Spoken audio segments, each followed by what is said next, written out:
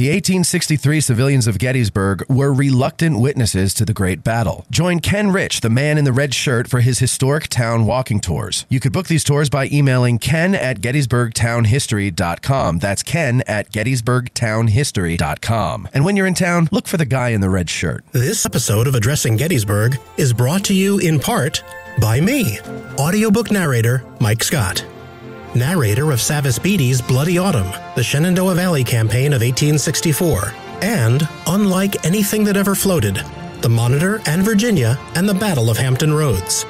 If you are an author or publisher interested in having your titles produced as audiobooks, or even just in learning more about the process, give me a shout. You can find my contact info on my website, mikescottvoice.com. That's mikescottvoice.com Enjoy historical stories on the History Fix platform. Explore movies, short films, and documentaries. Addressing Gettysburg podcast fans receive an extra $5 off the first year's annual subscription. Sign up at historyfix.com and use promo code Gettysburg. Every subscription includes a seven day risk free trial. Escape into history with History Fix. Want the freshest cup of coffee in Gettysburg? Then visit Bantam Roasters, formerly 82 Cafe at 82 Steinway Avenue. They roast all of their coffee in house and they have a full coffee bar to keep keep you caffeinated during your trip. Visit them at www.raggededgerc.com for their menu and shipping options for all of their freshly roasted coffee. Use promo code Hancock for 10% off your order in the cafe. Are you ready for your next great Civil War read? Then try the new historical novel, The Heavens Falling, by Jonathan Lucci. Follow the members of the Dawson family through the Civil War, from the halls of Congress to the bloody fields of battle, and from the decks of gunboats to the solitude of Lincoln's office. The Heavens Falling is available on Amazon in paperback and Kindle, or visit theheavensfalling.com to order. That's theheavensfalling.com and Civil War Trails. It's the world's largest open air museum, and they offer over 1,300 sites across six states. Drive the Gettysburg campaign turn by turn, paddle to Frederick Douglass's birthplace, or hike to remote earthworks and artillery positions. Visit CivilWarTrails.org to request a brochure and explore their interactive map. Follow Civil War Trails and create some history of your own. From the Gettysburg Museum of History Studios, you're listening to Addressing Gettysburg. Hello, everybody, and welcome to this episode of Addressing Gettysburg's Ask a Gettysburg Guide. And today we are talking about Daniel's Brigade, led by Brigadier General Junius Daniel. That's my middle name, Matthew Junius, Junius. Yes. a lot of people don't know that. That's what the J stands for, Junius.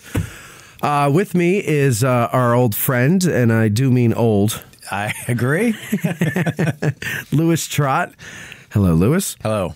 Lewis is a licensed battlefield guide, of course, and more importantly, Lewis leads our Get Out of the Car tours uh, every month between, uh, no, not every month actually. So we do it April, May, June, August, September, October uh, every year. The schedule for that is up on addressinggettysburg.com. Go ahead, check it out. And we hope to see your smiling face there at some point this season. Okay, so Lewis, we're talking about Daniel's Brigade. Um, and uh, they're in Rodes's division. Yes. And what is he com- comprised of the 32nd North Carolina, 43rd North Carolina, 45th North Carolina, 53rd North Carolina, 2nd North Carolina Battalion, 2,052 men. It's a big brigade. It's a big brigade. Yeah. You would think that uh, with that many men, they'd be able to single handedly wipe out the entire First Corps you of would the think. Union Army. But you that's not think. how it happened. No.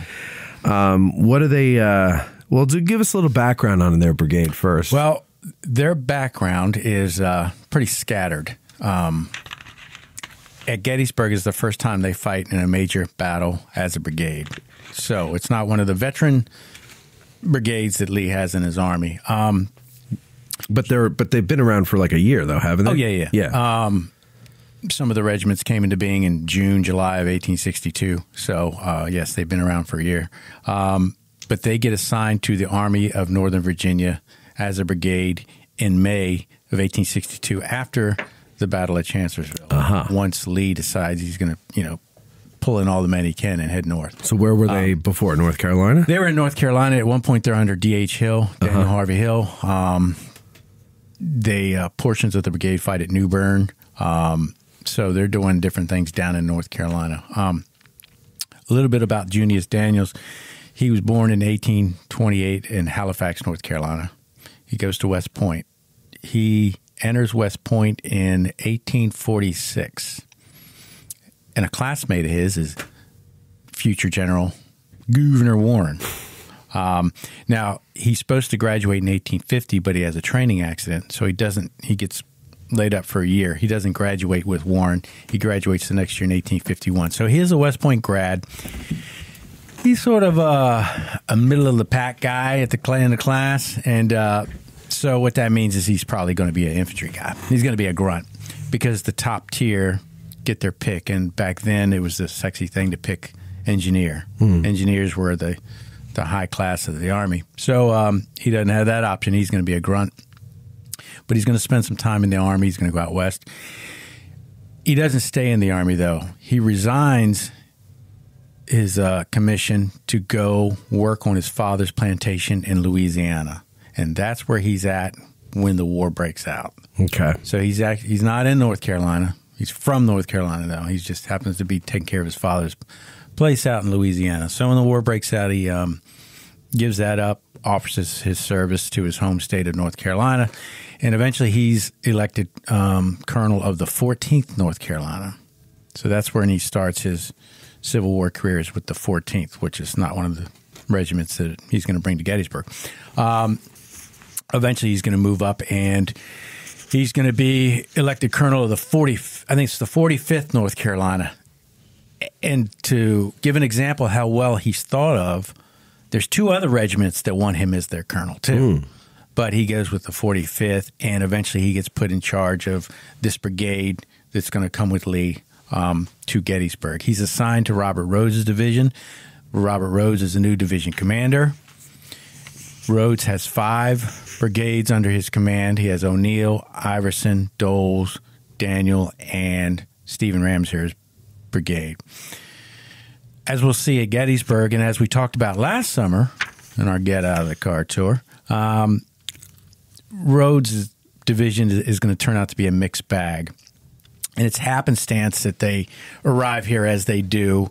Um, and the, the two weak, weaker brigades, due to leadership within those brigades, end up being in the front of the division march that day, Right. July 1st. And um, so the to, to make it easy, the two weak links are O'Neal and Iverson. And then on either side of them, you have Doles to their left as they're facing um, the Union Army to the east. Then you have O'Neal, Iverson. Then you have Daniels. He's on the far right towards the west. And in reserve is Ramseur. So you have these two stronger brigades, Doles and Daniels. And in between them, Iverson and O'Neal that have terrible days. Um, it's just the way it works out. So, and those four brigades are going to be lined up when Doles arrives and wants to attack the Union line on Oak Ridge. And again, that was the subject of um, last summer's Get Out of the Car tour. Um, so um, that's not the point of this podcast. We're not going to rehash that. I would like to say, and and I'm not that smart. Okay. Okay. Um, you didn't have to agree so readily, Um, but I'm not, I don't have many original thoughts. I'm not a big thinker. I, I, I get by on self discipline. Um, you don't have to think to be good at that. True. But I had this original thought when I was putting together last summer's tour about Rodes division, and it was specifically about the attack of O'Neal and Iverson. And we all know the story that Iverson comes down and he doesn't lead his um, his brigade. More importantly, he doesn't throw out skirmishers. They get tore up in what is known as Iverson's Pits now. We got to walk there last summer. It was pretty cool.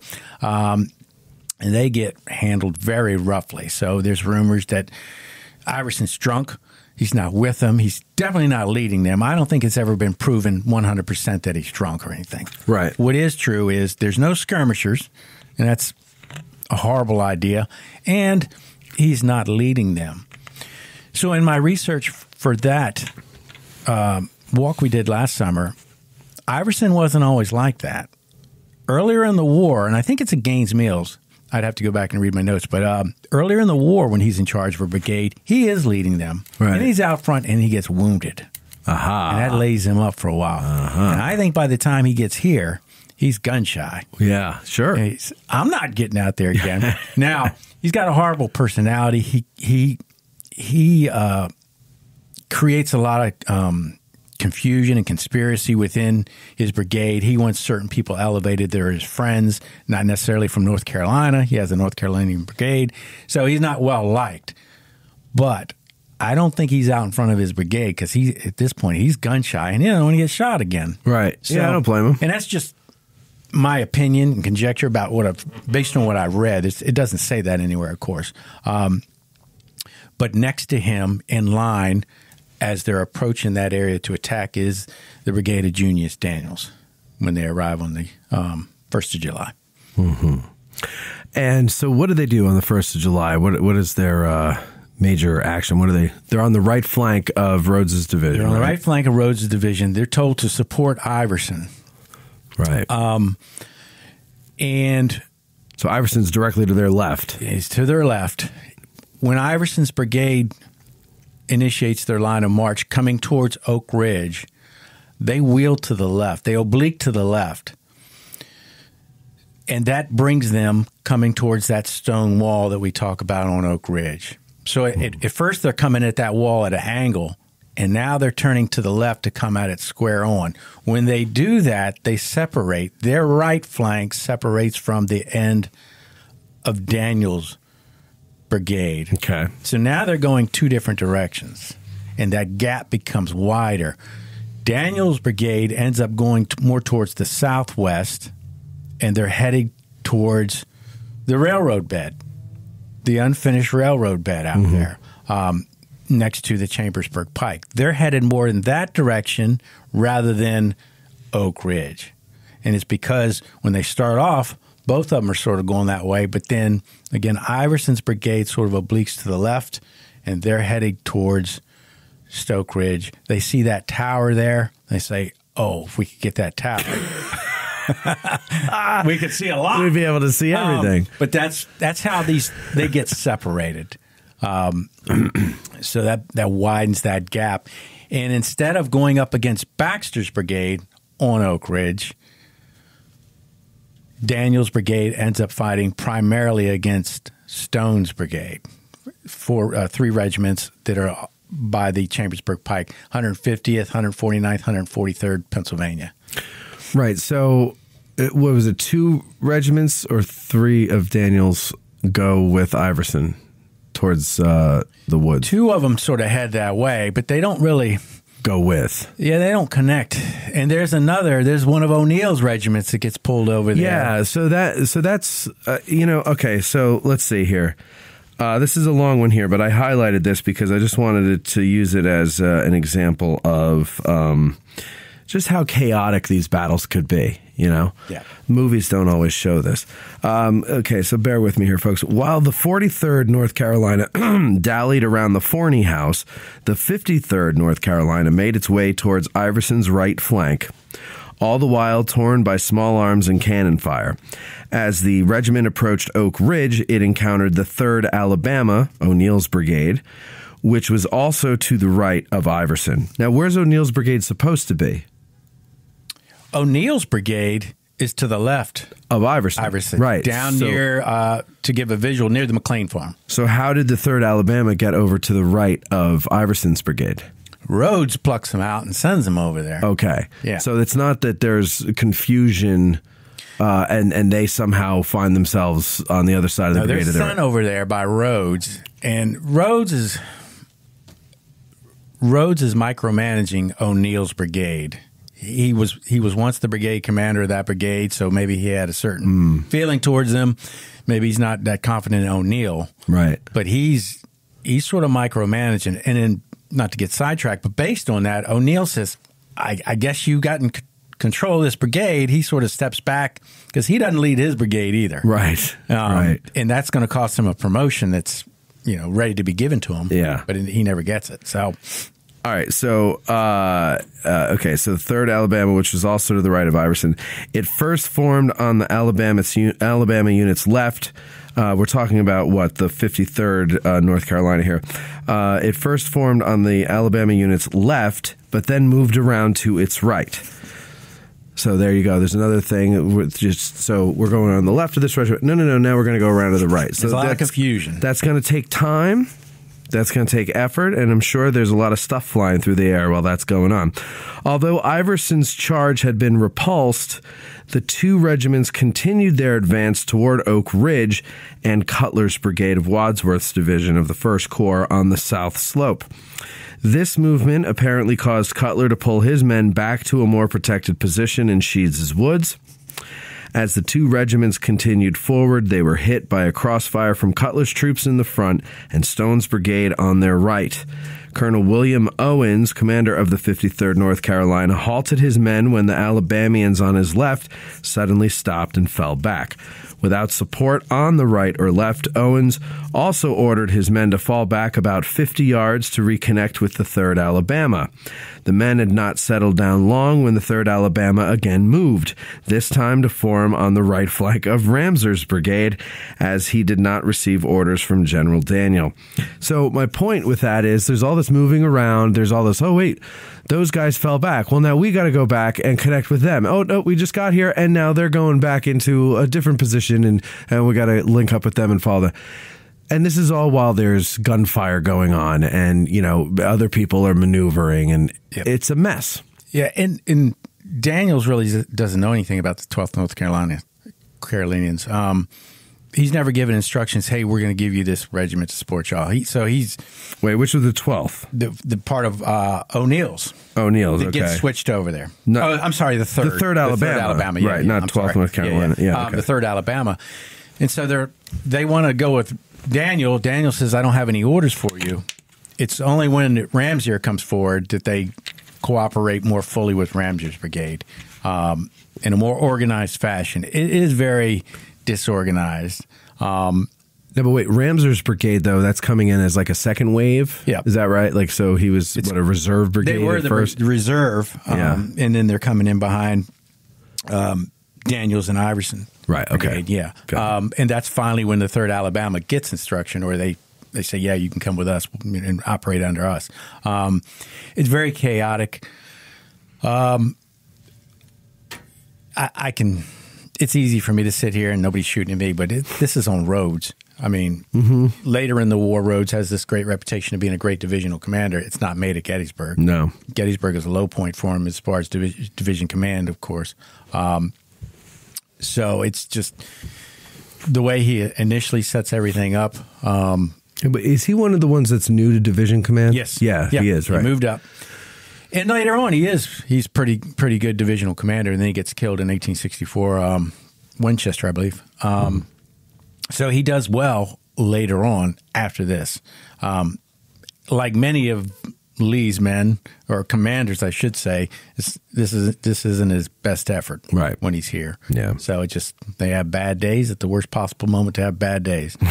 um, so, but again, a couple of uh, Daniel's regiments are going up against Cutler, and he falls back to Sheets Woods. The rest of his brigade, it's two regiments and a battalion. Now, for the uh, uh, uninitiated in manila- military parlance, a battalion is smaller than a regiment. It's about half a regiment. Um, there are still regiments around in the army. Um, my last tour of duty was field artillery. I was in a battalion within a regiment, so they're there. Um, So a battalion is basically as you're building the army, you know, you're starting with your company and then you're moving up, and so a few- generally, three battalions go into a regiment. right. So it's a, a third. It's a third. It's not a half. Yeah, it's yeah, a yeah. third of the regiment. I never and, did well in math. uh, and in the cavalry, they call them squadrons, right? Yeah, Yeah. So it's uh what two to three companies is how would you? uh I guess it would be like around three companies. Because if you're doing it in thirds and you have ten companies, then Yeah, yeah. essentially, Yeah, and it depends on what type of you know. In in, in field artillery, we had sections. We had either six or 8 Mm-hmm. sections, and then um, a separate fire directional section made up the battalion. this is this is in modern. Yeah, modern. Yeah. um, and that's how I, I try to equate the things and put up. Um, not to confuse people, we'll just say that. Well, it confused me. Uh, well, I'll try not to. Um, it's because it's cold in here. I know. Um, battalions are smaller than regiments. You don't see too many battalions operating here at Gettysburg. No, but so I always wondered that is because their official name is you know the whatever whatever state battalion, Mm-hmm. right? Like what's the one that we're dealing with here? It's the second. Second North Carolina. Second Battalion. North Carolina Yeah, Battalion. It's got about 250 men in it. So, but my question is like when they were formed, was it that they were only able to raise enough men to form what would be a battalion, so they call themselves battalion, or is it just kind of like they think it sounds cool? Like, why would they use that instead of Um, regiment? Probably the former, and I, I wouldn't think it was the latter. Uh, So it was- has nothing to do with how they sound. Um, so So it's it's about um, uh, just just you know instead of coming up with a thousand men, they came up with three hundred. yeah, thereabouts. Yeah, so they're. Okay. okay, and they want to keep their identity. Um, Okay. so that's why you have this battalion within this brigade. So two regiments in that, that battalion are headed southwest and they're headed towards the railroad bed. There are three railroad cuts within the railroad bed. We the most famous one that we talk about and a road goes over it is the middle cut. That's what Rufus Right. Dawes charges into um, early in the day on July 1st and captures all the men from Mississippi. But on either side of that cut, to the east, there's another cut, and it's you know surrounded by woods. It's behind or or to the, I guess that would be north um, of Lee's headquarters. Yeah, Those woods back there, there's a cut there. Right. And then if you go to the other end of the line, in the area of um, across the the Chambersburg Pike from the um, like West End, Battery. the West End Guide Station, Yeah, that area, yeah. all that area. There's another cut, and it's just surrounded by trees and stuff, so you Right. don't realize it. But that's the other cut. That's the West End cut, and that's where Daniel's uh, two other two brigades in this battalion are headed towards, and facing them are primarily it's the 149th Pennsylvania. And Roy Stone's brigade, and then to their right, coming towards the south, is the 143rd, and then back behind them, facing northwest is the 150th, and part of them are going to turn and face um, this threat from Daniel's brigade also. Okay. so you've got these 143rd, 149th, 150th Pennsylvania facing on the other side of the Chambersburg Pike, Junius Daniel's brigade that's coming towards them. And so, and, and Daniel's brigade, though, he's got, like you're pointing out, uh, and if people aren't, well, you know, if you don't have all these locations like firmly implanted in your brain or Come on the tour. Yes, right. you got to come to Tax Gettysburg. Um, but also, uh, the um, uh, uh, uh, if you're not looking at one of the uh, map books like Gottfried's Maps or the Laino Map Book, um, just imagine you're in a brigade. You are a brigade, and you're moving forward across a field, and your uh, main objective is straight ahead of you. But over to your left in the woods is another is a Union brigade that you have to be careful of and you have to be aware of, right? But and that's Cutler's brigade. But he's is when when Daniels goes over to attack the the cut. Um, does he does he have to send some troops over to uh, occupy Cutler, or is there another brigade from Rodes's division coming up through the woods? No, there's not. That's that's where the other two brigades that it come down. It's the um, The well, two the 50 regiments. fif- yeah, reg, regiments. Yeah. fifty third North Carolina goes over there. Fif- Okay. Yeah, fifty third goes over there. Um, it pushes them back. The other problem they're facing is artillery. You have a battery near Lee's headquarters, that area. Stewart's. Stewart's Battery, yep. Um, and then across the road is I think Reynolds. it's Reynolds Battery. Yeah. They're firing at Daniel's men as they're coming across too. So Right. they are taking um, artillery fire, and then they got this railroad cut in front of them, and then there's a gap of space, and then there's the Chambersburg Pike. Right. So it's almost like who can get to the railroad cut first. Um, Yeah, because Stone's men are trying to get over there too, yeah. or they're over there. Yeah, well, they, they move up to um, The rim. they move up to the Chambersburg Pike 1st and then the 149th Pennsylvania is going to cross the Pike. They're going to come to the cut also. Now, the, the cut's only going to do you so much good, anyways, as the men from Mississippi earlier today found out.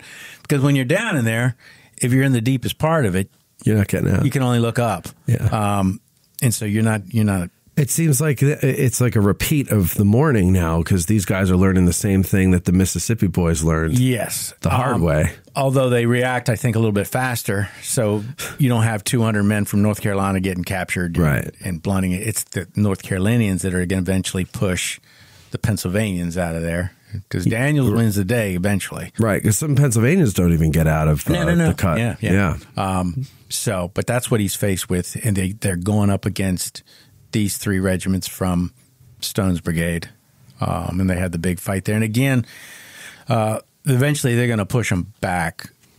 While this is going on, you have stuff going on on the other side of the Chambersburg Pike. You Mm. have Brockenbrough's brigade comes through. You, know, you have these Right, so- Pettigrew's division is coming down.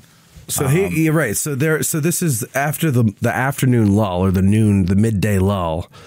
Yes, Um, it- it's it's Pettigrew's. Uh, I'm sorry. Um, what you just said his name? No, no, no, no. The division commander, Pender. Pender. Yeah, yeah, I said Pe- Pettigrew. I, I misspoke. Pender. Okay, but uh, see, I missed that.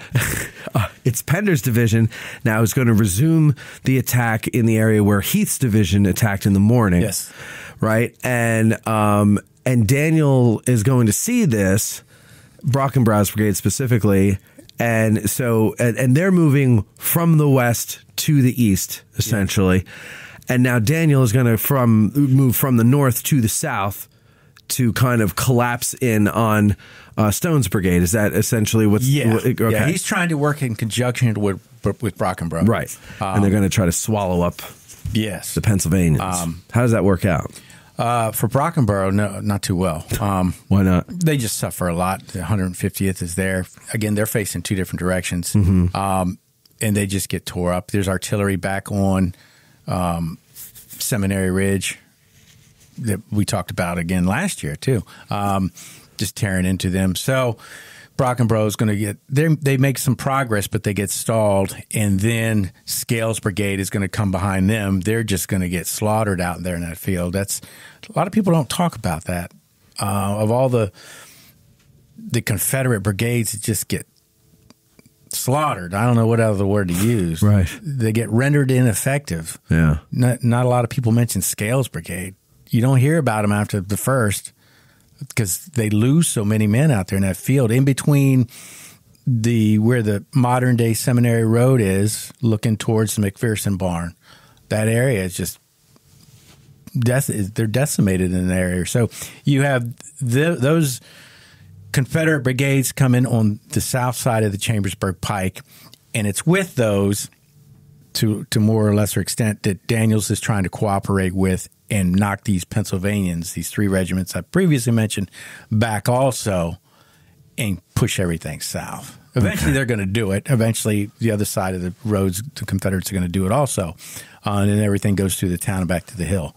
So, So uh, then uh, the Confederates are going to uh, succeed in pushing the Union troops uh, not only off of McPherson's Ridge and Seminary Ridge, but uh, all the way through the town. Yeah, yeah, yeah. We know that. And uh, Daniel's brigade, uh, what do they do? Are they, do they give pursuit or do they chillax? They they stop right around Seminary Ridge. They don't go into the town. They're not one of the brigades that chases them into town. They stop on Seminary Ridge and they're gathering up wounded and trying to get their own act together, um, getting people to the aid station and field hospital, etc.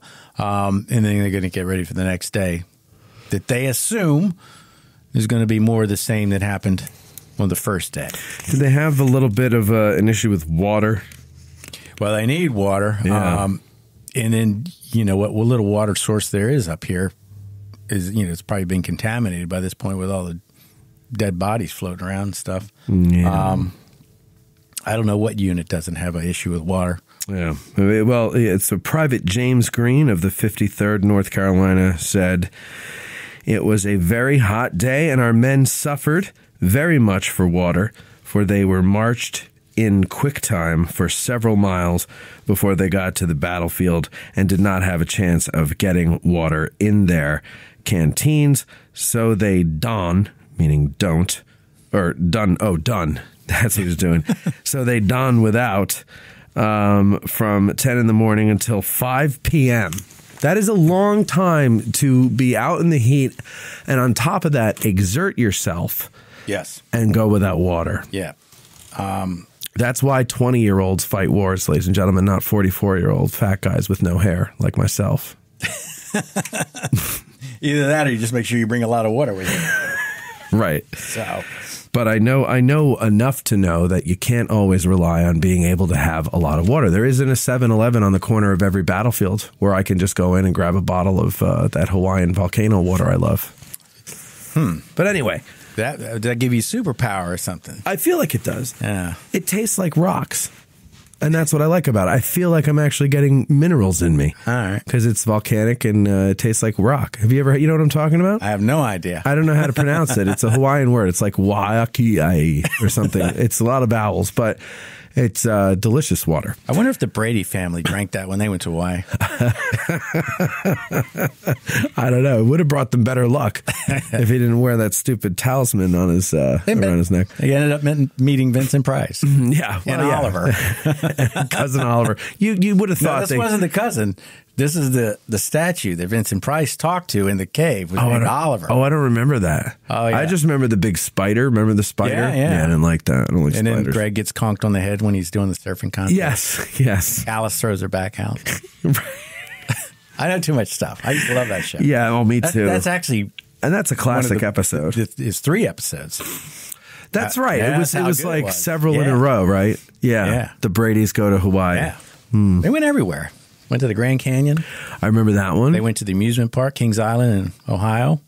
I don't remember that one. Yeah, because uh, uh, Mr. Brady had plans to develop something, and that's where they were going to go. I was a big fan of the Brady Bunch movies. Remember the Brady Bunch movies? I was out by then. Oh, they were in the 90s. Yeah, I considered myself an adult at that point. Yeah, but uh, yeah, I was, I was a out, teenager. yeah. But uh, I've recently watched them again. They're very funny. They're very well done Yeah. because they, they really capture the goofiness of Yeah. the Brady family. But because they, the show put them in the kid. '90s, Yeah. it's like '70s Brady, Yeah. but in the '90s. Yeah. So fish out of water thing, and it's you know. But you know, Davy Jones is on it. Ah, Who don't like Davy Jones? and they go to Hawaii in the Yeah. second one. You know, uh, it's it's good. It's good. Anyway, the people are like, "What the hell is wrong with these guys?" so okay, It's been a long day already. day one. Yeah, I know. Oh, that's another story. We we lost uh, my key to the studio broke off in the lock. And we couldn't get it. Uh, we didn't have a you know pair of pliers or anything to at least you know open the lock. Um, and we had to like, well, I don't want to tell you what we had to do to get in here, but it was a real pain. we took some road trips. We took some road trips to try to find a spare key, but everybody I gave a spare key to is not around. And uh, the one person who was around couldn't remember where he put it. We went looking all over the place. It was a mess. But anyway, we got in and here we are. The so, okay. dedication of this show. I know. I know. Yeah, exactly. This is how much I love you folks. Lewis came all the way up from Virginia, and uh, we, you know, we risked getting caught for uh, being burglars, you know, if somebody saw us trying to get into the shed. Um, just so that we could do this show for you guys. So don't forget, patreon.com slash addressing Gettysburg and reward that dedication. Okay, so That's right. now the day's over for Daniel's Brigade. Yep. Where, where do they get uh, assigned by the time they rest their weary heads for bed? Their next place of duty is going to be, you know, it's moving into day two. Rodes Division is going to be moved down to Long Lane.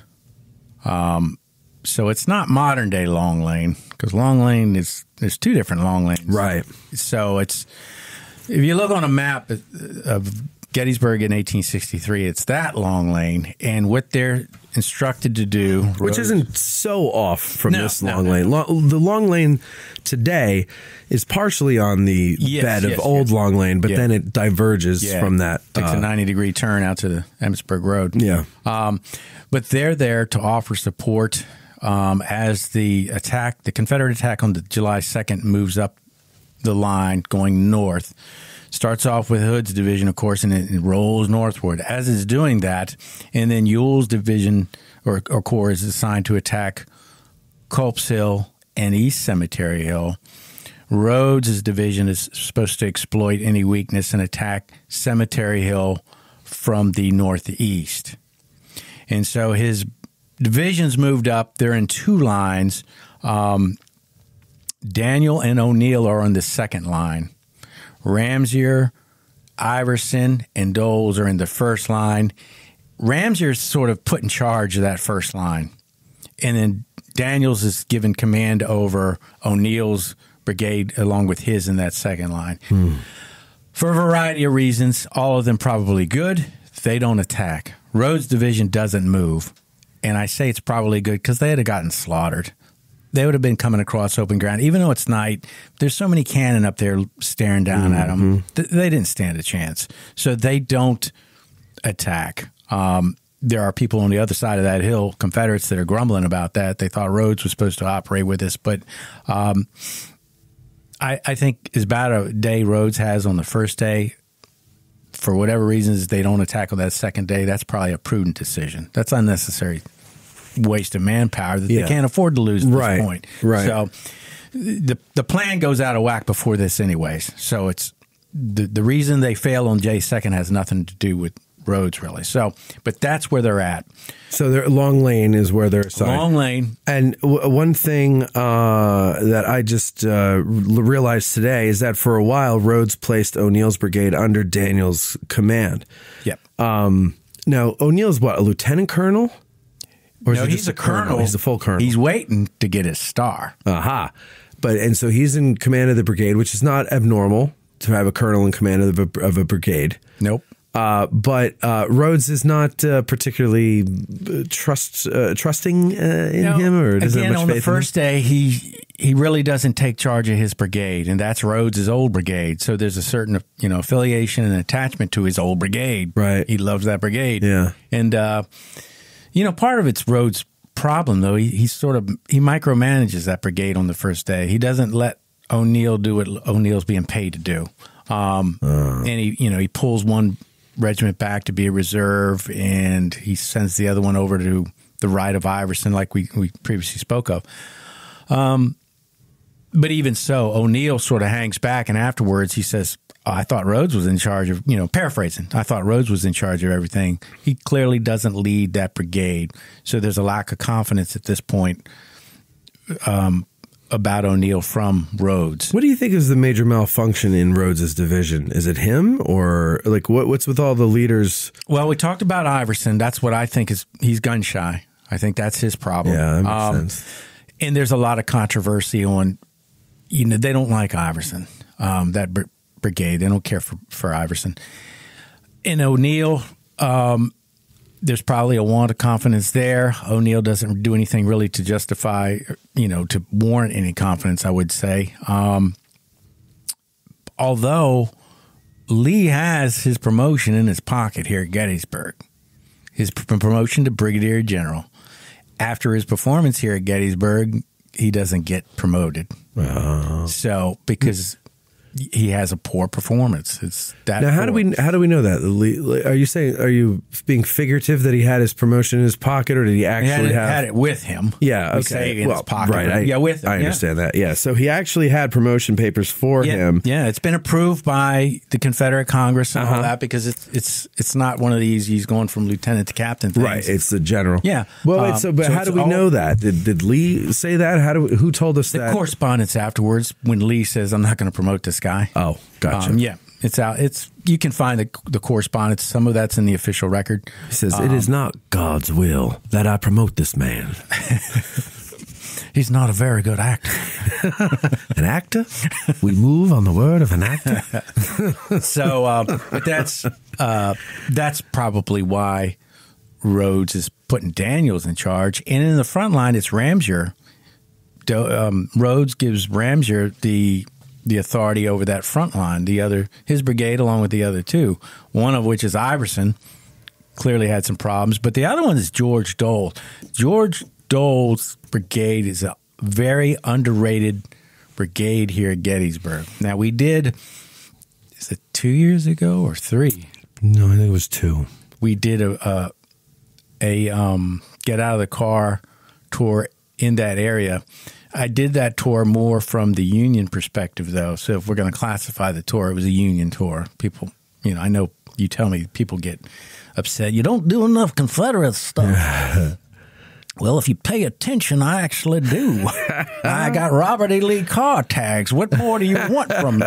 Um, Yeah, right. um, but we did it from we did it more from um, the Union side, but it was George Doles' brigade coming down and attacking um, Schimmelfennig's line, Schimmelfennig's brigade there. Oh yeah, Um, that might have been three years ago. Time I feel like that was a, a an early tour, it was like early in the year. and we walked all the way up to the McLean farm. Because remember, we went there the week before, And it rained on was us. yeah, it was Yeah. raining, it was wet, Yeah, and I feel like that was like the April, maybe May, but I think it was an April tour. and it was it was pretty warm the day we did the tour. I remember that. The week before it was Oh, kind of chilly gorgeous and wet. the day we did the tour. It was a I remember gorgeous day. sweating, but Yeah. that's nothing. I'd rather sweat than freeze. Oh, me too. Yeah, I me hate too. cold. But um, yeah, well, okay. Well, regardless of what year that was, But Doles' is um, is very underrated. Not enough people really talk about Doles' and his performance here. He does Yeah. a good job, but he's on that front line too. Um, but it's Ramseur that looks up and says, "You know, we got all these cannons staring at us. This is suicide. We can't do it." And so they don't attack. Um, so then we roll to the third day, and Ewell is going to attack Culp's Hill again. And this is part of Lee's original plan for the third day. He wants to attack on the flanks, you know, because they've made some gains, which they have. But it's, you know, hindsight being twenty twenty, it's not going to get you anywhere on the third day either. But part of that original uh, third day plan, before it becomes what we know as Pickett's charge, um, is to attack also on Culp's Hill again. And for that, they're going to move part of Rodes' division around to Culp's Hill, and that's going to be Junius Daniels' brigade along with O'Neal. So they are going to take part in the July 3rd attack on Culp's Hill on the morning of um, July 3rd. So, right? So they go over and are attached to Ewell. yeah. Um, and then, uh, so how does it go for them over on Culp's Hill? They're, what Daniels is uh, put between or behind Jones, Behind right? So Jones, who's been Jones is on the right. of yeah, he's on the right. Next to him is uh, Johnson. Jesse Williams' is Louisiana Brigade, and then behind Jones is Daniels. Behind Williams is O'Neal. So O'Neal is if you're facing Culp's Hill from the Confederate perspective, Daniels is on the right. On his left is O'Neal. Right, okay. In front of Daniels is Jones. To the left of Jones is Williams, Louisiana Brigade. And they have because Jones, uh, if you go by his brigade marker, at least you know the the guys on the right. They have that part of the hill is They write that you need scaling ladders, and that's Yeah. the term they use. And if you ever go stand, um, walk down from the 66th Ohio Monument, you can get to a ledge, and it looks like a little cliff. It's Yeah. a miniature Yeah. cliff. Yeah. There's no way you're getting up that. well. And if you go around the northern face of it, um, where the Iron Brigade was, where their earthworks are and everything like that, there's that one part. Well, it's actually close to the Seventh Indiana, yeah, right, right where their monument is. It's just like a straight drop down. yeah, you're not getting up there. No. So, But it does. If you come south, it does sort of level out some. It does. Um, and then it goes up a little bit more because you're getting to the lower portion of the hill. It's very uneven, and it's impossible. So what do they do? So Doles can't. I mean, he can, but he's not going to get very far going Daniels. straight ahead. No, Dole. I'm sorry, Jones. Jones, We're both wrong. Jones. I was at Jones. least on the right part of the field. Jones can't go straight ahead to like where the 66th Ohio monument is. Right? Is that is that 66th Ohio? yeah, they were. He's not going to go there, is he? No, he's going to go further south. Further south. Like Yeah, you'd yeah. have to. Yeah, I mean, There's- there's maybe no maybe keep a force there to hold on to the Well, Union troops in that area. What happens is the 66th Ohio swings out and starts firing to their flank. Oh, that's right. Yeah, That's that was right. another tour. That's right. I forgot about that. That, yeah, that, was. has one of my favorite letters from a soldier. He wrote back home. He's with the 66 Ohio, and the letter gets published in a newspaper. It's written on maybe the fifth or sixth. And it's like, it's right after. Maybe it was written on the fourth because it was right after Pickett's charge. Like, Longstreet's dead. AP Hill's been captured. Lee's lost an arm, or so. It's all kinds of crazy Yeah. stuff that we know now. Yeah. But that it's fun for me to read because I was a soldier once, and I used to, you know, when I was a private, I lived off rumors, mm-hmm. and that's the thing that. Oh yeah, we're going home soon. I can't wait. Oh yeah, right, right, right. So uh, it's just a fun letter to read. But 66 Ohio swings out and ends up firing to their flank, Right. um, which You know, I, I don't know what people visit on the field. I know where I take them, but I wonder if that story gets told a lot for the average visitor going up there to see that monument. I mean, unless you had a guide going with you to You need a uh, guide. yeah, you do uh, to to decipher all this stuff for you. You know, a lot of the stuff is like is like it's like the Da Vinci Code. You know, there's there, it's hidden in plain sight, but certain things mean things. Whether it's the core badges on the monuments or the state seals on the monuments, Yeah, and yep, yep. you know, um, or the shape of the brigade plaque uh, bases. Uh, you know, like just the, these little things. Like there's a there's kind of a code Yeah. some intentional, some not, like the the hooves. But uh, you do need a guide. I always tell people there's you know 1,400 markers and monuments and memorials here. Um, good luck trying to read them and figure out what the hell they're talking about. And you know, it's it's a very well marked battlefield, but that makes it more confusing. And uh, I, I can't speak for other guides because, you know, we all have our, our different likes and dislikes. But once you get the basic story down, I love giving tours on a specific spot on the field. Yeah. It, you know, th- to me, giving a tour, a first time visitor out here, the, the two or three hour general narrative, that's great because it's, it's an honor to show somebody this field for the first time. It really is. And I tell them that it's my honor.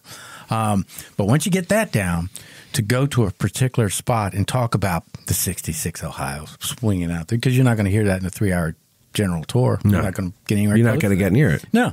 Um, but that's so much fun. And I, I imagine other guides feel the same. It's it's good to get off the beaten path and do something different. Well, I noticed that a lot of uh, our listeners that contact me and they ask, you know, can I take a tour with Lewis or Charlie or Bob or whatever, and I set them up uh, with them. Um, they, or with you guys, I guess I should say.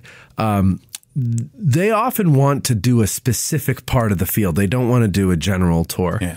They they want to do Culp's Hill or they want to do whatever the angle or you know whatever. Um, and uh, I think that's good. I mean, obviously, if you've never been here, if you're new to this, do the overviews several times. I, and that's the other thing too is a lot of people think that the guides all operate off of the same script, but there is no script. Everybody comes up with their own way of doing things. So you can take an overview tour with Lewis, and then when you come next year, you take one with Charlie Fennell, and then that following year, you take one with Bob Steenstra, and you're going to get three different perspectives. None of them are more right or wrong than the others. There's just different ways of, Yep. of looking at things, and of course, they they find different aspects of the battle more interesting um, than you know than someone else might, and so they're going to focus more on that type of stuff. You just can never learn it all with one visit, and um, you got to keep doing it. And then after you do like three with three different guides, or even the same guide, because some people really like a guide and they want to go again and again. Whatever you do, three of them, general overview, and then start getting into the nitty gritty of things as you as you learn more and find things that interest you. And I, I think that's a good way to do it. Uh, but everybody learns in a different way. If Anyway. you're ever here, just people are here and they see guides, guides don't all stop at the same places. Right. So if you're going to a different place, you got to tell a different story from that place. Yeah. You know, because something else happened there. That's right. And uh, you're right. There, no two stories are the same. We don't go on tours with each other, so we don't, you know. Right. Right. I don't know what any other guys talking about when we're out there. I The mean, you might talk shop once in a while Yeah, and be the- like, "What the- do you do at this part?" The You know, general story remains the same. Yes. Um, I like to change the outcome every once in a while. I don't. I just leave it to people to figure out when I do that. Um, that's a lie. I just No, you can't do Um, that. So the general story remains the same, but the specifics that we tell are probably different depending on where we stop, the type of tour they want, where they're from. Because if they're from Minnesota, we're going to stop at the first Mm. Sure. Minnesota, um, Sure. something like that. So, but yeah, um, back to the the matter at hand. Yes. that area of Culp's Hill, people really don't go there, but it is Jones Brigade, and then Daniels behind them. They were trying to earn their money that day to get up that hill. I mean, that's a hill, and then you're facing, you know, Green's Brigade has spent the previous day digging the trench, the entrenching there, Right. The breastworks.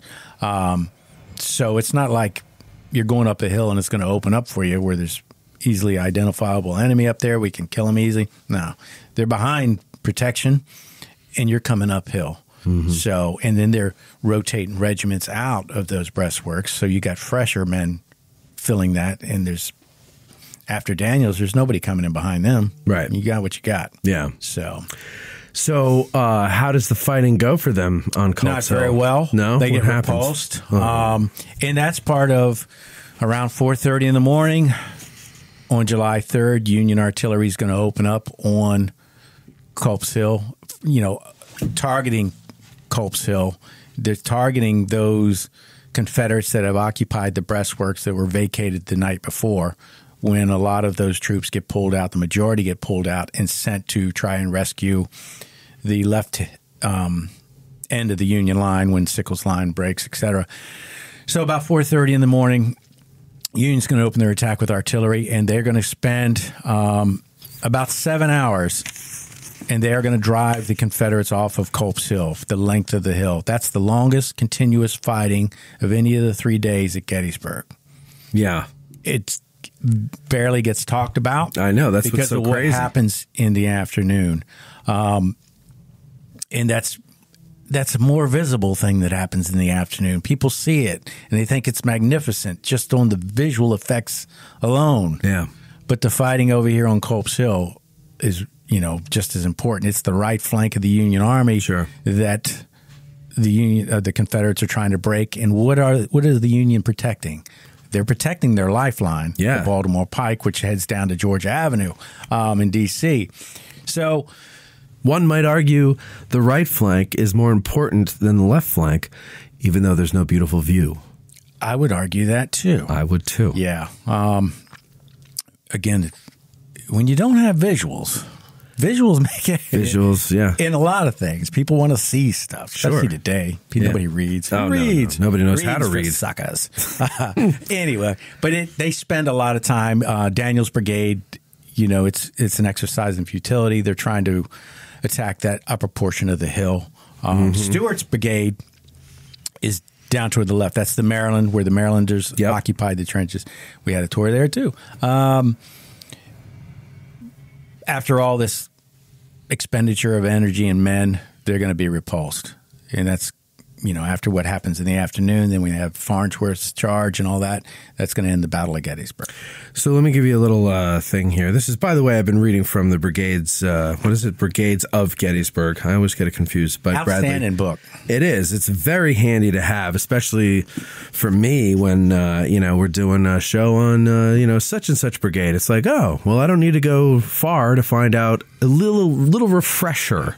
Before you I became a guide, that was one of the first. After I got the the general knowledge books down, Mm-hmm. and I said I, I'd like to be a guide and I need to get in depth. That was one of the first books I bought. I wonder, you know, I haven't read it cover to cover. I usually just use it as a reference.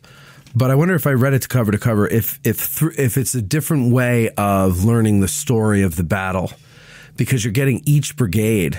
It's So- tedious. I've done it. Well, you have, Yeah, it's just tedious. I would imagine it is. Any kind of learning is usually tedious. So, but but anyway, Well, there's no there's no linear aspect to it. right? So no, it's, it- it's just it makes it tedious. So no, you no, you would have to be like you read about something that somebody did on the morning of July 1st, and then several brigades later, you're reading about maybe the counterpart or Yeah, it's a uh, whole lot of jumping cohort. around. Yeah, or, without yeah. jumping around. Right. Yeah. Uh, all right. But so let's see here. Uh, the federal artillery. Okay. So by the way, at this point, Daniel is also uh, not directly responsible for O'Neal's brigade anymore.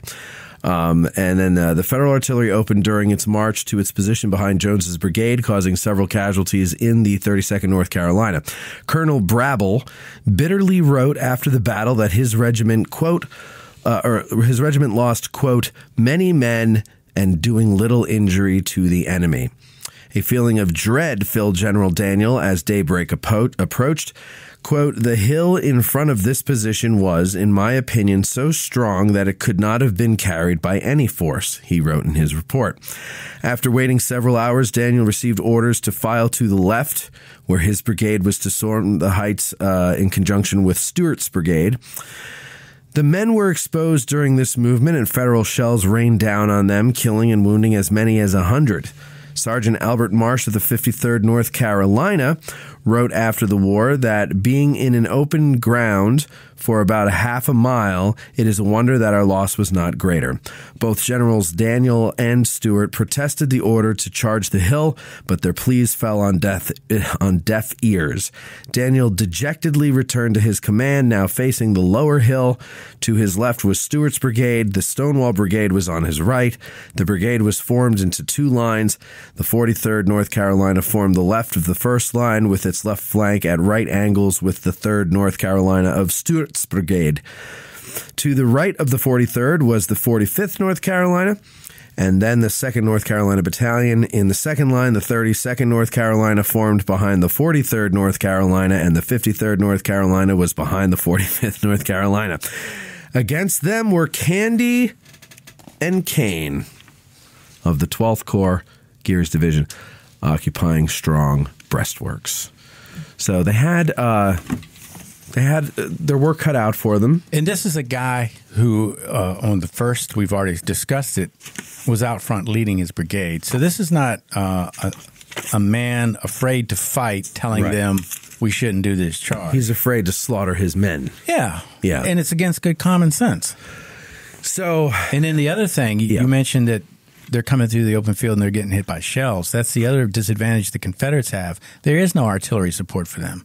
right, So because Benner's Hill would be the only place they could put it, and we already know from the day before Yeah. that that is not a uh, what do you call it? A, a, a It's not sustainable position. No. Yeah. Ah. so. Um, so yeah, that's that's the other thing. They're getting hammered with Yeah. uh, artillery, and And it, it doesn't take much if you don't have any artillery coming back at you, right? no. Because what are they? Probably just that one battery. Who's who's firing on? Oh no, because you got uh, You got Powers, Powers Hill, Hill, and then you got um, guns up and down the Baltimore Pike. Yeah, see, th- this is the thing. It's easy to forget that because you can't see that stuff now. There's too many trees. Yeah. People think that we uh, we destroy our forests and stuff, but we have more trees now than they did back then. Yeah, it's you know I We don't all use the wood like it's, they it's used the to. weird thing you get the you get the better sight lines in the wintertime. Yeah, because it's the closest to Yeah. not having the trees that. It's just freezing, Yeah, that's the problem. so everything else looks different. But the sight lines are great. And Yeah. Your toes are about to fall. and if there's a little snow on the ground, it provides a nice contrast, so it's easy for you to say, "Oh, that's Powers Hill," yeah, you can because see you can see the white Yeah. of the snow. Yeah. Uh, all right. So the the battle ends. Daniel's brigade loses what nine hundred something men. about 46, 47 percent. Yeah, and that's out of two thousand. yeah I mean basically half. close. Yep, it's a lot. it is a lot. And uh, um, what what do they do? Uh, they, I mean, Daniel's brigade makes it all the way to Appomattox. Is Daniel still in command at Appomattox? No. What happens to him? Daniels dies. He gets killed down in the Mule Shoe, Spotsylvania. Okay, Um, but he makes it that far. he makes it, you know, a little less than a year later. Uh huh. A lot of people get killed down there in the Mule Shoe. Sure, in that, sure. that, that overland campaign and stuff. Just Uh, another battle fought over shoes. mule shoes at that. Uh, nobody love- fights over The. Civil War people loved shoes. Didn't matter if they were for mules or for men. They love shoes, railroad cuts, bloody runs, bloody lanes, Mm. Bloody angles, angles, peach orchards. peach orchards. Who doesn't love fruit? Yeah. Yeah, that's true. Yum. So yeah, he he gets killed. Um, they leave here the night of July fourth, going into the fifth. Rodes Division ends up being the rear guard for Lee's army. So the first um, Union force of any numbers to speak of is Sixth Corps are going to take off out of here. I won't use the word chase. Um, they're not going fast enough to actually chase anybody, um, but they are following on their. They're on their heels, and so there's skirmishing going back and forth. Um, not any real big fights. Other than there is a, a fight in Fairfield. Um, Daniel's brigade is going to go through Fairfield. They're going to head to Hagerstown, Maryland. I think they they arrive there around the seventh of July Okay. and they're going to spend three or four days there, and then they're going to head down to the Potomac River. They're going to cross the river on the night of the 13th, and then head down back into Virginia, the Shenandoah Valley. Mm. So, and then the campaign, of course, And thus ends the campaign. comes comes to an end on the 14th. All right. And so, what we're going to do now is take our break and come back with uh, questions submitted by our patrons over at patreon.com slash addressing Gettysburg.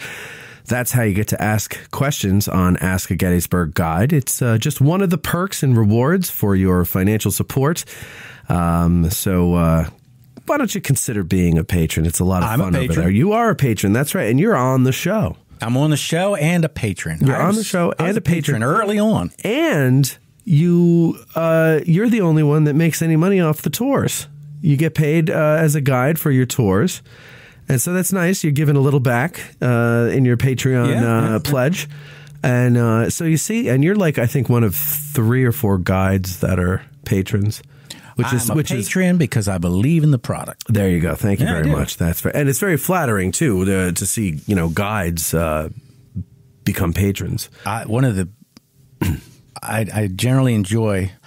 Ninety nine point nine percent of your episodes have been great.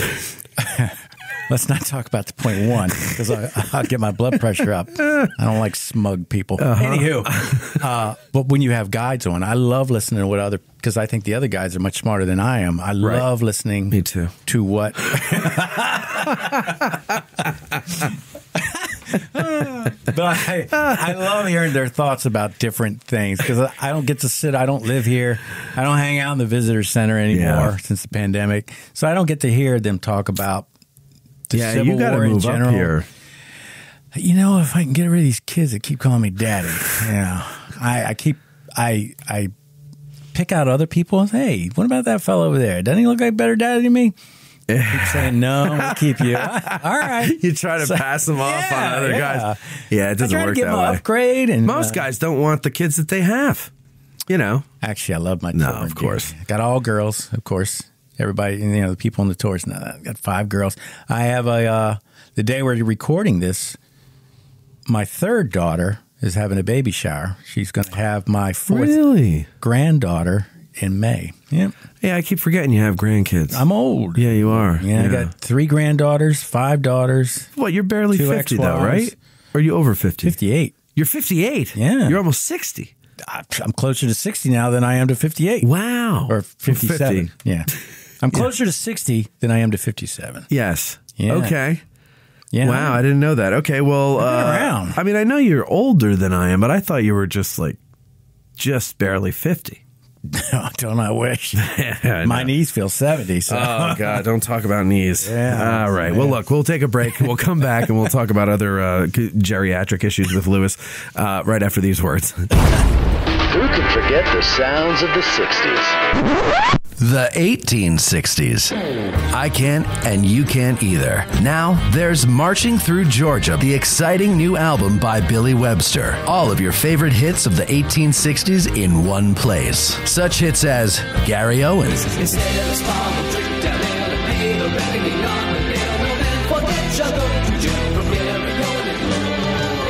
The Battle Hymn of the Republic.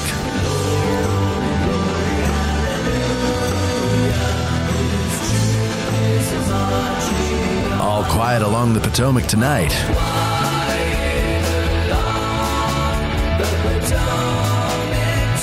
Marching through Georgia. And much, much more. So, what are you waiting for? Go to billysongs.com and order your digital download of Billy Webster's Marching Through Georgia today. That's billysongs.com. Seminary Ridge Museum and Education Center, Gettysburg's premier museum, is housed in the historic Lutheran Seminary building constructed in 1832, a witness to the first day of battle. The museum's three floors of exhibits connect visitors to the dilemmas that led to the Civil War, provide a powerful and personal view of the battle's first day, and explore one of the battlefield's largest hospitals. No visit to Seminary Ridge Museum and Education Center is complete without a guided tour of the building's famous cupola, where on the eve of battle, officers and civilians saw thousands of Confederate soldiers' campfires burning to the west, and Brigadier General John Buford watched for vital federal reinforcements as fighting erupted on the morning of July 1st. Today, you can stand where Buford stood and discover how this view helped chart the course of the Battle of Gettysburg. Your trip to Gettysburg is not complete without a serious visit to Seminary Ridge Museum and Education Center, Gettysburg's premier museum. Purchase tickets online at seminaryridgemuseum.org or call 717-339-1300. To get tickets or a cupola tour, listeners may call or walk in and mention Addressing Gettysburg or by ordering online using the promo code AG1863 for 20% off. Seminary Ridge Museum and Education Center. It began here. There's a devil to pay. For the Historian has a wide variety of titles, new and used, of military books from publishers like Osprey, Gettysburg Publishing, Stackpole, Savas Beatie, UNC Press, and more. I make it a point to go there once a week because I have new bookshelves to fill and I never know what treasures I'll find, and neither will you. They even have toy soldiers, model kits, games, children's books, and more. So stop by and check them out on your next visit to Gettysburg, or better yet, order right now online at forthehistorian.com and mention that you heard about them on Addressing Gettysburg in the Note to Seller box, and they will refund you your shipping. And if you call 717 685 5207 or stop by the store on your next visit and mention us, you'll get 20% off retail price. That's forthehistorian.com or 717 685 5207. Hey, summer is here, and Gettysburg's licensed battlefield guides are ready to kick off another full season of specialized battlefield walks on their favorite subjects. First, enjoy an educational stroll at sunset with Tuesday evening walks through history starting on June 6th and going until the end of August. Then tours switch to Sunday afternoons and go to the end of October. The walks cost $35 each, and registration is required in advance. And don't forget, from September 22nd until the 24th, the Association of Licensed Battlefield Guides is proud to present Oak Ridge Attack and Defense. Three days, 10 licensed battlefield guides, seven battlefield tours, and much more. For the full schedule and registration, and don't forget you have to register for these, visit GettysburgTourGuides.org, GettysburgTourGuides.org. You've heard us promote various ways that you can help us keep the show going, but one way we haven't pushed too much is our sutlery at addressinggettysburg.com slash shop. That's a shame because we have designs over there by talented artists like Ty DeWitt of 1863 Designs and Mike Stretch of the Heritage Depot. So now we're promoting it. Buying shirts, hoodies, mugs, and other items from our sutlery not only helps us keep the lights on, but it also helps guys like Ty and Mike, and it helps spread the word about the show every time you wear an item or you sip from your mug. So head over to addressinggettysburg.com slash shop and grab some merch. It's the perfect Christmas gift for the Gettys nerd in your family. That's addressinggettysburg.com slash shop. If you're a lover of history, then go to trhistorical.com. There you'll find apparel, drinkware, decor, and more featuring a wide range of interests from the ancient world to the Cold War. Looking to make an impression with the perfect gift? Well, TR Historical now offers gift cards and a vintage wrapping service for a truly unique presentation. And our listeners will receive 10% off plus free shipping in the U.S. when you use promo code GBERG1863. So go to trhistorical.com, TR Historical, for the love of history. You're listening to the Addressing Gettysburg podcast with Matt Callery. All right, and we are back now from that wonderful commercial break, and we're talking about Daniels Brigade with LBG Lewis Trott. And we're going to get to questions from our patrons over at patreon.com slash addressing Gettysburg. That is how you get to ask questions on and ask a guy didn't get to hear your name. You know, you're driving around in the car and your kids in the back seat, you know, you're making them listen to the show and they hate it because it's boring history and, you know, this guy's weird or whatever. And then uh, you go, wait, son, listen. And they hear your name. And then suddenly you're cool in their eyes and for just fifteen dollars a month, just uh, the that's actually a sip of Starbucks coffee is fifteen dollars a month. If you can go one sip less, yeah. each month, and actually support someone who really cares about you and your education, not like Starbucks, they don't give a flying f about you. Patreon.com slash addressing Gettysburg. Okay, here we go. Uh, Bill Etzcorn, Wild Bill Etzcorn, he says Daniel's brigade was given the honor to carry the corps colors into battle on July 1st. Coincidentally, they also took the most casualties. Is it safe to assume that by carrying the colors, they would have been targeted for or targeted, or this just uh, an, the unlucky lottery to face the first corps of the Army of the Potomac? Whew. What? Anyway, you understood that, of course, didn't you? Could you repeat that? I don't know if I could. Um, I don't think uh, I don't think the one has anything to do with the other. Now, what were the corps colors of the flag? Which flag? The, the national flag? They they've they were presented. The, the division was pres- maybe it was the corps. No, it was, it was Ewell was presented the, With the brand stainless. new, yeah, brand new flag. Mhm. Um, The national while, flag. Yeah, while they're in Carlisle, Right. And Daniels, it was presented to Daniels Brigade. Everybody seemed to be passing it on because, like, Ewell passed it on to Rodes. Rodes is like, Yeah. "Oh, great, let's get pass it on to Daniel." And which is I always found sort of interesting, not interesting enough to, to really look into it. But Daniels is new to the Army of Northern Virginia. right. Oh, so maybe it's like Why? Are, why is he getting? Yeah, yeah, like kind And- of a, right. Yeah. So, but when they're when when the attack, you know, begins uh, on the afternoon of July first, Rodes's division attack. I don't know if they're carrying that flag with them. They they have their flags, you know, Mm-hmm. but I- the flag carrying that flag and, and suffering that amount of um, casualties, I don't. I'm pretty sure are not related. It's where they're attacking. They're attacking. Um, again, we went, went over it. Stone's brigade, and they've got Cutler's brigade on their left, um, left flank, sort of um, at an angle, and then they've got that artillery down on Seminary Ridge. Reynolds and Stewart's batteries firing into them. So it's just the the Union Army. So the second part is what the the factor is. It's the First Corps of the Union Army that is the reason they have all those casualties. It doesn't have anything to do with the flag. It is. It has. Um, since he asked that, it does bring to mind again.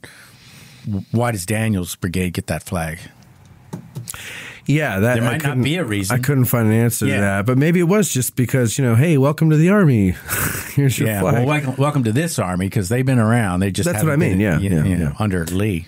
Um, but uh, but my question is, though, why would anybody want to carry that flag? I mean, you can't tell me that it, it had to take a few battles for them to realize it looks like a surrender flag uh, from afar. Yeah. I mean, you had to take one look at that and go, I'm not carrying a white flag into battle, although that could be a good ruse, right? Yeah, You know, you go the 149th moves their flag exactly to draw artillery fire away from their main line. That's right, So that's yes, right. and so when they attack, that flag most likely stays with the the headquarters element of the Ewell's Corps. It Right. doesn't go into the. It's it's not part of the line coming down to Oak Ridge. You don't Right. see that flag coming towards you. Right. So All right, Jamie Umstad says, uh, were Daniel's original orders to follow behind Iverson's brigade? Did he make an adjustment on the fly to avert the same disaster? And how did uh, Junius Daniels retreat from Gettysburg? Um, well, we talked about that.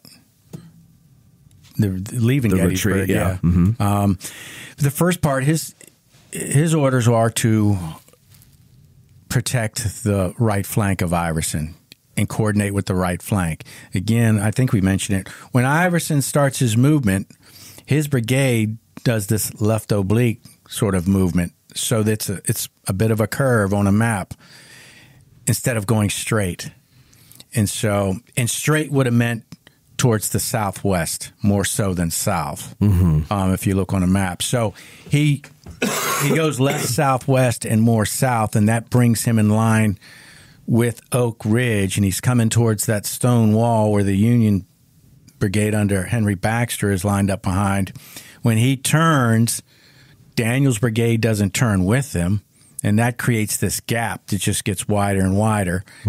And then eventually, Iverson's brigade gets decimated, and they fall back, and it's too late to do anything with Iverson's brigade at that point, anyway. So it's more in line that Iverson's brigade makes a movement that Daniels is not expecting that opens up this gap, and he's unable to really help Iverson's um, left flank. The 12th North Carolina North Carolina Regiment is on the right flank of Iverson's brigade, and that that regiment out of his brigade, Iverson's brigade, takes the least casualties because they don't go in straight towards the wall. They're on the right flank of Iverson's brigade, and the way the terrain there is, it sort of protects them. Mm-hmm. So, but it's still this movement that takes Iverson away from Daniel's brigade, and it's not that Daniel leaves him hanging out to dry. He certainly doesn't. It's just that he he executes a movement Daniels is not uh, expecting, and so he's going to go on his way where the danger is in front of him, and that's to his left front is um, Cutler's brigade falling back to Sheads Woods, and then Stone's brigade out there by the Chambersburg Pike. Okay. Philip May says, I don't recall if his official action report from Gettysburg was quoted or resource, resourced or even written for that matter. Does his after action report exist in the ORs? Who asked this? Philip May. Why, Philip? Yes, it does. where where can he find it? He can find it in the ORs. Um, there you go. Volume Next question. 27 is the th- three volumes of the Gettysburg.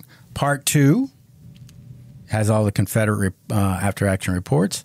And page 564 is where it begins. Wow, there you I go. have it right here in front of my hands. Amazing. There you go. Amazing. Yes, it was published along with all. Um, you'll find when you go through the ORs, it'll start from big to little. So you'll have a corps report, which is a culmination of all the lower commands reports rolled into that. And then you'll have um, the various divisions. And within below the divisions, you'll have the brigades, and below the brigades, you'll have all the regiments. So, um, under Daniels, after Daniels' report, you'll have the reports of the individual regiments under his command. Brian Jackson says, What created the delay of Daniel's brigade entering the fight on July 1st? My understanding was that he was to follow on Iverson's right, but that didn't happen. Well, we kind of touched, well, we did Yeah. touch on this before, Yeah. but um, go ahead, reiterate it for him. And you know, originally what they're thinking is when O'Neal moves, Iverson's supposed to move, and they don't move at the same time. Now, if you stand out there in the, the two different places, they can't see each other. So communication is definitely lacking on this day. Um, so by the time O'Neal's repulsed, that's when Iverson starts to move. And again, when he moves, he does this left oblique, and it creates this gap. Um, I have to think that he doesn't move at the same time Iverson moves because there's no communication. And Iverson's clearly not leading anything. He doesn't have his skirmishers out in front. So they should have been close enough to see each other. Um, I've been to Iverson's spot, I've been to O'Neal's spot, but it's sort of hard to get without getting in trouble exactly where Daniels was. You know, you get off property. You, are you, when, when you say O'Neal's and Iverson's and Daniel's spots, you're talking about the individual, not the brigade. Yeah, where the brigades are. Yeah. Oh, oh, Yeah, okay. yeah. I thought you wanted to. I, I, thought you were. sort of the center of each brigade. I like to get to if Uh-huh. I can to imagine what it looked like. Sure. Um, you're getting farther out um, to the northwest with Daniel. So there's you know farmers are growing stuff. I don't know if it's park property or what. So I try Mhm. to. I try to, within means, stay within the limits of things. I'm not Right, going to say anything else. Uh, Tim Dolan says, while Daniel's brigade was locked in combat with Stone's brigade, how did Mississippi soldiers swoop in and rush the colors of the 149th? Why didn't Daniel's brigade get the prize instead? I think I think the Mississippians can see it. It's on the it's in between the Chambersburg Pike and the Western Railroad cut.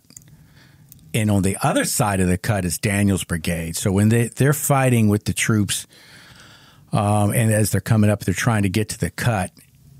To their right is Davis's brigade, what's left of it. To Daniel's right, and they're looking. Oh, yeah. Um, well, and he does ask Daniel for help, doesn't he? And Daniel's like, nah. Who, Davis? Da- uh, I'm sorry. Daniel Yeah. asks Davis for help. Yeah. And Davis is like, no, we've we've already been through this. Yeah. We're not doing this again. And I've I haven't read any of this anywhere. Why one brigade goes after it and the other one doesn't, and it's the, the Mississippians under um, General Davis's brigade that go after it and get it.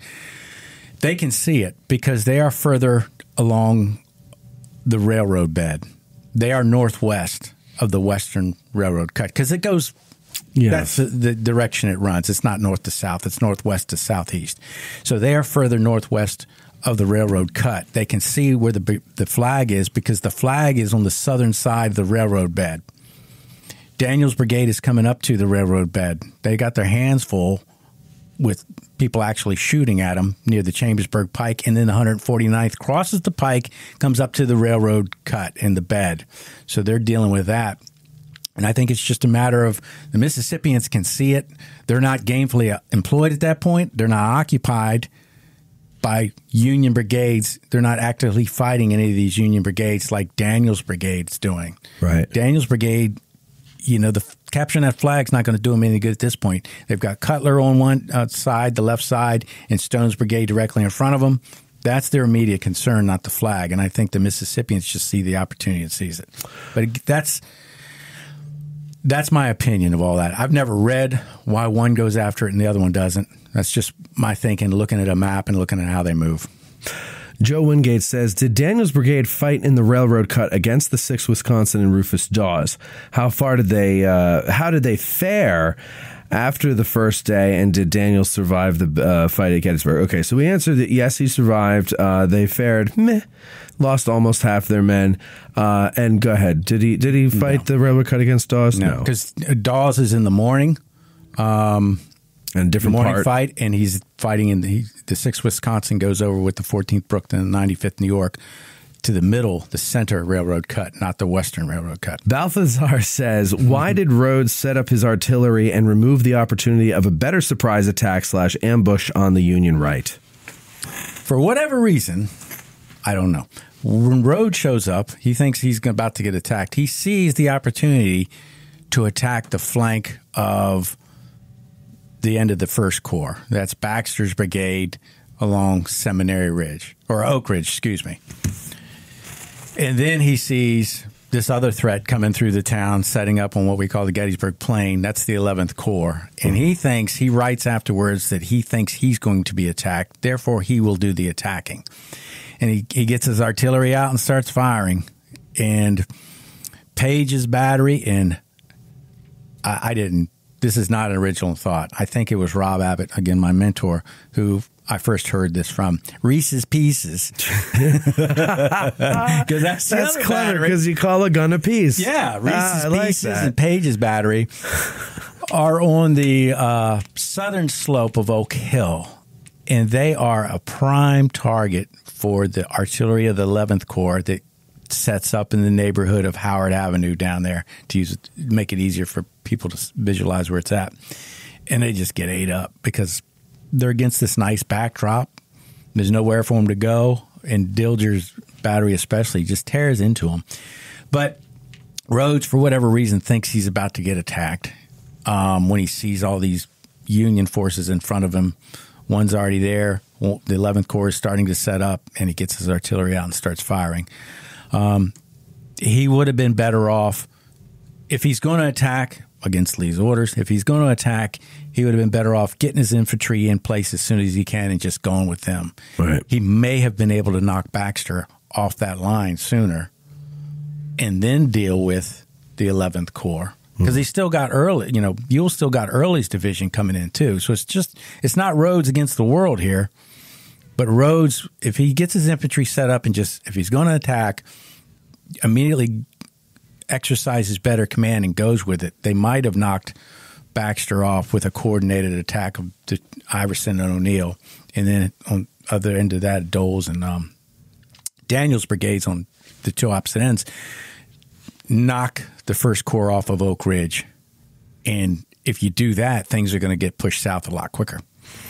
So, and then you don't, if that happens, and these are a bunch of what ifs, but if that happens, the Confederates don't incur all the casualties they do on that first day that come back to haunt them. Mm, on the third. Yeah. Yeah, yeah. All right. Well, very good, Lewis. Thank you Thank very you. much for doing this. I love these. It's you know I wish I lived closer. I'd do more. Yeah, well, it is well, what it is. well, you come up on I Saturdays. We'll do my two, time. like we always do. Yeah. Yeah. Um, and, uh, well, you can al always come out and meet Lewis and get a tour with Lewis for free once a month. Uh, go to addressinggettysburg.com to see what the schedule is for our Get Out of the Car tours. Um, and if you'd like to hire him for a tour yourself, you can contact me, Matt at Addressing Gettysburg, and I'll put you guys in touch. And more importantly, you know that commercial break that you guys uh, had to sit through, man. That was long and annoying, right? Wasn't it? Well, you want to get rid of those because I'm a patron. because exactly, and and you want to you want to uh, not have to sit through commercial breaks, ladies and gentlemen. Well, we need a thousand patrons, and then we'll be able to not do commercials. That's what However, we need. I will say, yeah, and this is this is a, a not a shameless plug. It's a plug.